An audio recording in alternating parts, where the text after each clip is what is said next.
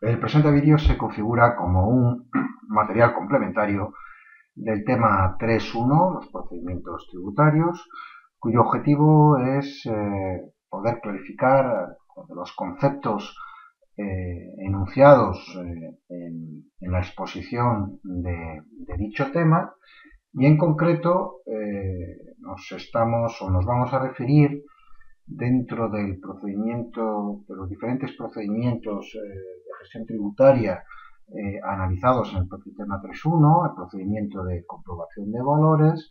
y en concreto eh, como medio de impugnación de liquidación derivada de este procedimiento de comprobación de valores a la tasación pericial contradictoria.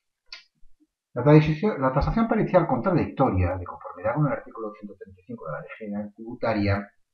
se configura como un procedimiento tributario específico eh, que permite eh, la posibilidad de eh, rectificar el resultado de aquel procedimiento de comprobación de valores instado por parte de la Administración y que puede ser objeto de solicitud por parte de los interesados dentro del mes siguiente aquel, eh, al momento en el que se produce la notificación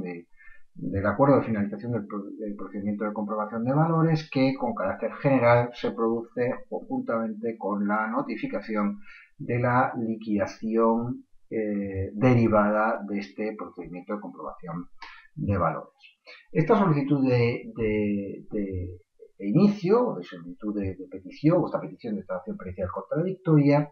determina la suspensión de forma automática y sin necesidad de prestar ningún tipo de garantía de la ejecución de la liquidación eh, que pudiera haberse derivado del procedimiento de comprobación inicialmente sustanciado, sin necesidad de interponer recursos de reclamación y sin que tampoco suponga este mismo eh, la preclusión del plazo para la presentación de dicho recurso o reclamación. Eh, igualmente, y aun cuando se presente este recurso o reclamación impugnatorio de, la liquidación derivada de la comprobación de valores, el interesado puede expresamente reservarse el derecho a promover disertación pericial contradictoria que podrá ser instada o iniciada eh, una vez se sustancie el procedimiento de revisión que pudiera haberse iniciado con la presentación del recurso o reclamación económica administrativa pertinente.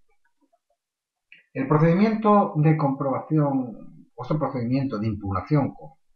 la aprobación de valores comprende las siguientes cosas. Eh, una vez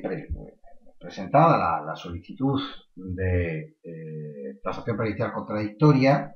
la Administración notificará eh, pondrá a disposición del interesado la tasación del perito eh, de la Administración eh, utilizado para,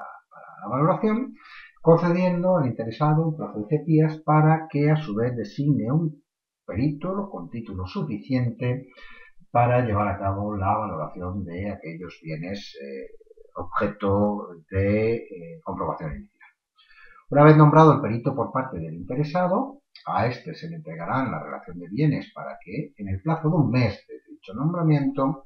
presente su valoración que, evidentemente, deberá de eh, estar suficientemente motivada. Una vez recibida la valoración del perito designado por parte del interesado, si la valoración o la tasación sobre aquellos bienes objetos de comprobación eh, emitida por este perito eh, es igual o inferior a 120.000 eh, euros y conjuntamente igual o inferior al 10% de la valoración que la administración ya hizo, eh, prevalecerá la valoración del perito por parte del interesado y la administración vendrá obligada a considerar dicho valor. En el caso de que esta diferencia comprobada por el perito del contribuyente sea superior es decir, superior a 120.000 100.000 euros y al 10% de la valoración inicialmente realizada por el perito de la Administración, la Administración vendrá obligada a nombrar a un, perito tercero que será el que eh, podrá determinar finalmente el valor. Este perito tercero habrá de elegirse por sorteo entre la lista eh, facilitada por el colegio profesional correspondiente. Una vez hubiera sido aceptado el cargo por este perito tercero designado, el valor comprobado por este vinculará a la administración eh, para eh, dar una nueva liquidación y o anular la integridad. Obviamente, el límite, los límites, tanto inferior como superior, eh, para llevar a cabo la nueva liquidación estarán en el valor del contribuyente, el valor declarado por el contribuyente y o el valor comprobado por la administración.